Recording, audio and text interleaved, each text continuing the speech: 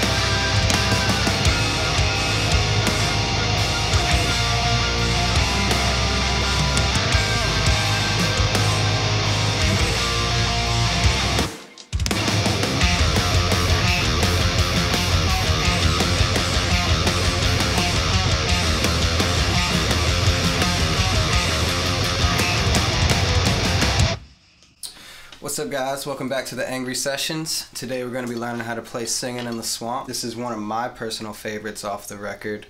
And uh, let's get to it. The song's in drop C. And uh, the first thing you want to do is make yourself, you know, a clean tone with uh, a couple things. I got compressor, reverb, tremolo, and a phaser. And that's what's going to make that tone that you uh, in the here in the beginning of the song. Sort of a power chord around eight, and you're gonna add the uh, top string. It's gonna sound like this.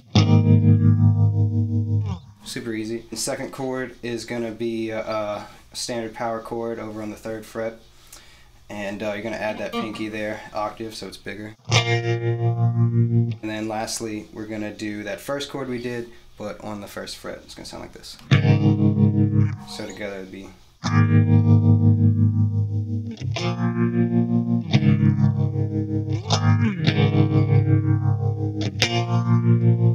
Here, we're going to do that same chord in the beginning, but on 5. Slide down to 3. After that, you're going to want to go to a balls to the wall tone, and then we're going to play the main riff of the song, and that sounds something like this.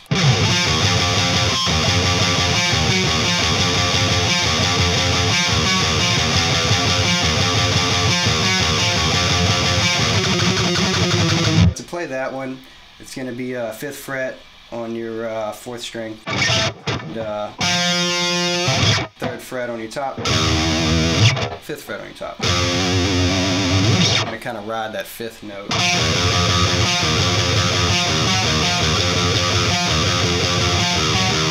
Little back and forth thing from five and six there. The third time you do this little run, there's to be a little extra semitone in there on the fourth fret. It's to sound like this.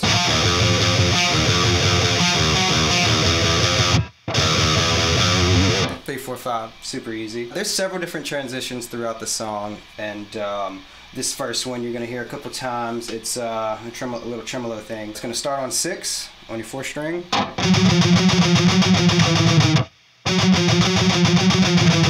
Go right into the chorus, and uh, there's a little break, a little quick break. I have a special tone for that as well. It's kind of a reverbed out, clean tone. A nice long, a long delay on it, lots of slap and then a little compressor.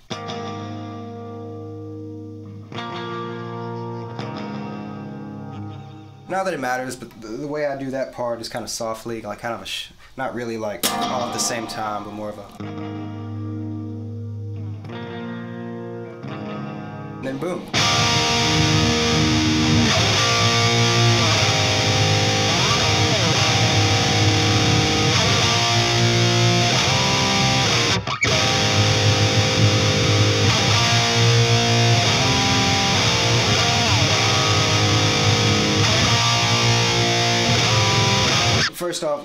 Lot, of these uh, chords are on the up, so it'd be like, uh, sound like this.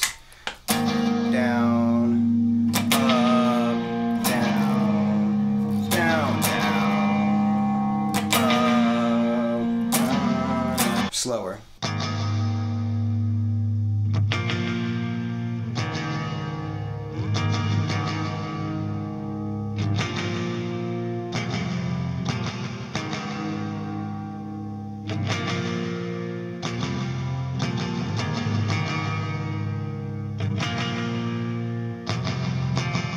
Like that chorus because it's not like uh, here's a couple chords the same order every single time. It kind of changes itself when you get to the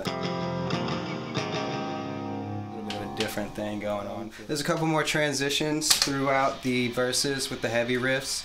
Um, when the drums start to pick up, this is uh, what you're gonna hear. So.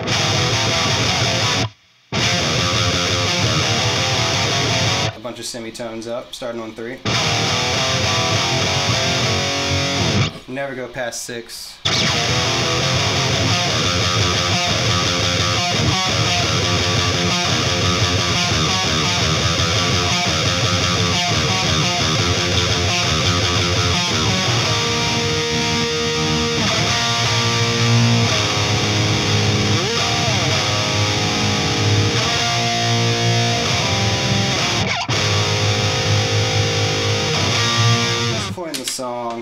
Second chorus. Um, I do this kind of ad-libbed lead. You do an octave chord on your fourth string and your second string. It's just gonna fade in. It's like.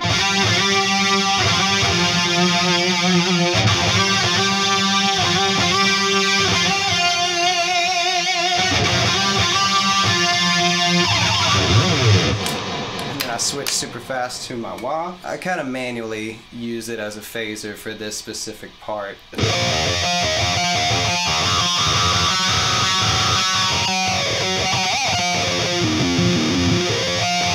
It's the same verse riff, only we're, we're making it more of like a chord almost.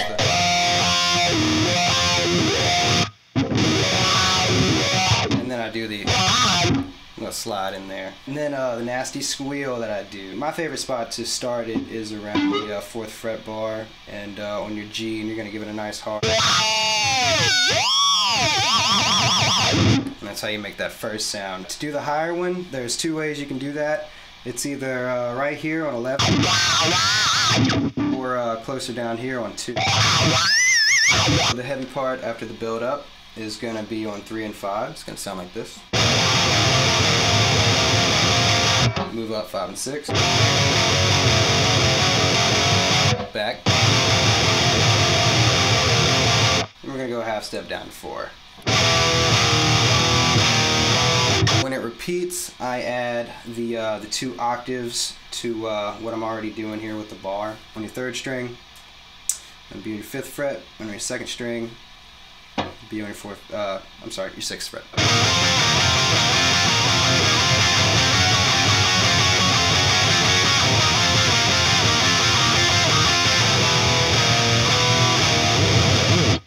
After that we have the solo. The effects I'm using for that are the wah, chorus, and delay. The way it begins is uh, with a class around 15, just a nice little bend. Leave your index finger uh, held down and just push up the 15 fret. After that, we have a really fast run.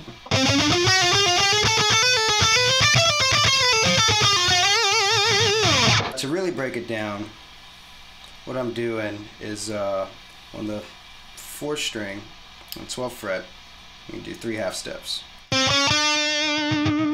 on the next string, we're gonna do kind of a, a couple hammer-ons that lead up. So.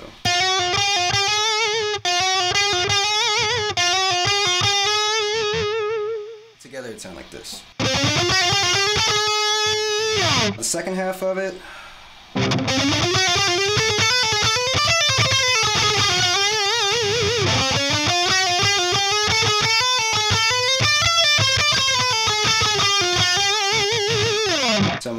Extra slow.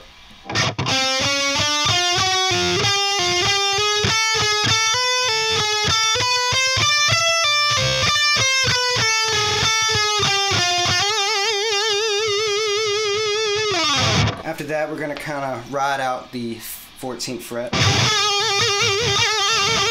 And then a quick little. And then I jump super fast to the 20th fret and do a, a tremolo. And then we do the famous uh, high squeal there with, uh, I use the wah as a sort of boost to keep that sustain going. And I use the, uh, the higher note, which is around 11.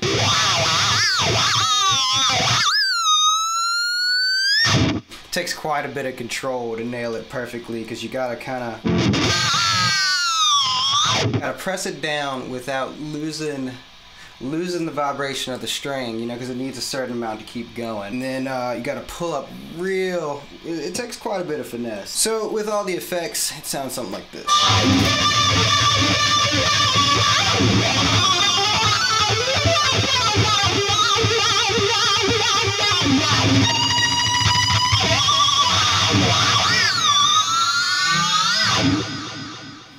Final chorus. Sort of a different uh, chord progression than the rest of the song. Not necessarily a key change, it's just, you know, the progression changes.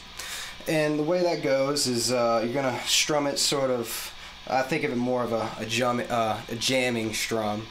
And it uh, it's just gonna be, and it goes something like this.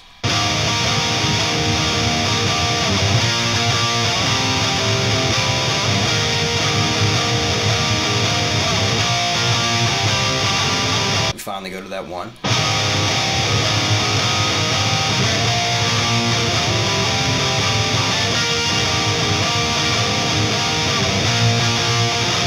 Riff.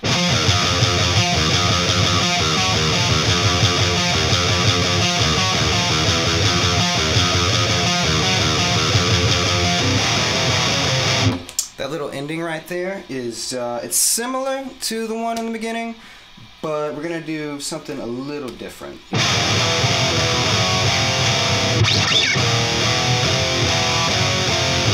And that's how you play singing in the swamp.